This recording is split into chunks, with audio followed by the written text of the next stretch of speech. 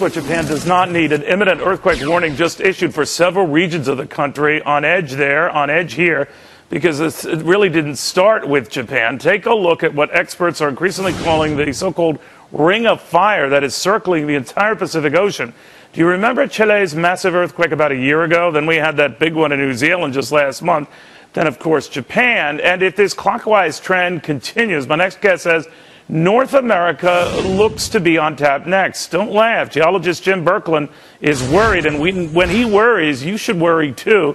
Jim accurately predicted, get this, the 1989 so called World Series earthquake four days before it shook the San Francisco Bay Area. And Jim says this month is of particular concern. Why, Jim? The month of October, March, and April are the three most devastating uh, earthquakes in terms of damage in the San Francisco Bay Area in history. And we're having on the 19th of this month not only the full moon, but within an hour, the closest approach of the moon until the year 2016.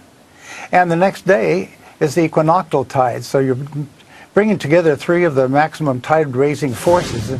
And we know about the ocean tides, but there's also an earth tide, and there's a tide in the groundwater, and all of these help to uh, release sudden built up strain and cause earthquakes. All right, but that and would seem to imply that, that, that, that, we could be looking at a very imminent event in the United States within the next week or two. Is that right? Yes, my what I call a seismic window. This top seismic window in years is developing uh, between the 19th and 26th of this month. And this was uh, 7.0 monster, and it says uh, geologists was had warned about it. And a week earlier, the, they were talking about the tides, not to worry about the really high tides coming up. Well, I think there's there's worry uh, here too. All right, so um, so let me just understand. You're a genius. I'm not. So I just want to follow your fine brain on not this. Not a genius. What you're saying is that there is a certain order to this, even though it doesn't appear like it. For a lot of folks, it just seems like random events. But you're saying that there is a, a process unfolding here. For California, or, or California, Oregon, or whatever, what would that mean? What type of quake or disturbance or disruption would that be? Well, if it was one in the northwest in the Cascadia Trench, like we had in 1700, that would be a nine magnitude quake. I'm oh. not predicting that. But I'm saying we've just had a massive fish kill. Uh, maybe a million fish died in Redondo Beach. They had a massive uh, fish sweep in uh, in Mexico. We just had a bunch of whales come in close to San Diego. And what is that, that presage? When you have events like that, what does that generally mean? What's going on in the waters? It changes, changes in the magnetic field that often precede larger earthquakes.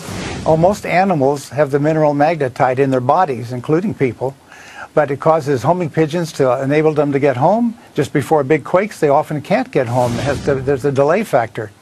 And uh, so we look for those kinds of things. Just before the World Series quake, there was a very unusual beaching of uh, rare uh, beaked whales in the ocean beach of San Francisco, and then just after that, a, e equally rare pygmy sperm whale washed up at Santa Cruz within about five miles of the epicenter of the World Series quake. And that kind of beaching had never occurred before nor since. So we're looking for strange fish uh, coming into from deep water to into shallow water, uh, wild animals uh, coming into, uh, into cities. Um, I used to just scoff at these kinds of things because I was a mainstream geologist until I found out that earthquakes were fitting a pattern. The big earthquake in uh, the Indian Ocean followed the mass massive beachings of whales in uh, Taiwan, uh, not Taiwan, but uh, uh, New Zealand and Australia and Tasmania. Uh, and then within a couple of days, they had a 8.3 south of New Zealand, and then came the 9.1 in yeah. the Indian Ocean with a big tsunami on the very day of the full moon.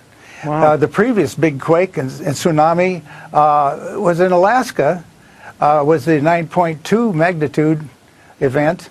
Uh, on the day of the full moon, on the 27th All of March. Right, Jim. So, bottom line, we have a lot to watch, and believe me, your track record compels us to watch it. Jim, Thank you very much. I hope you're wrong, buddy. I really hope you're wrong, but your record seems to. Well, especially at this time. Right. The, All right, buddy. The world history, and it's not not good. All right, sir. Thank you very much, Jim Berkland in San Francisco. He's a pretty good geologist.